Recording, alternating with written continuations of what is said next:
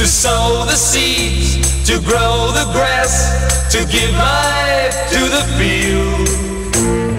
Man created machines. Why did he create them? To cut the grass, to feed the cows, to give life to himself.